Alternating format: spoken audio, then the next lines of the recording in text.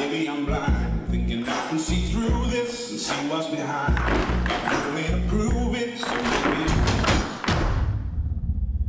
I'm only human after all.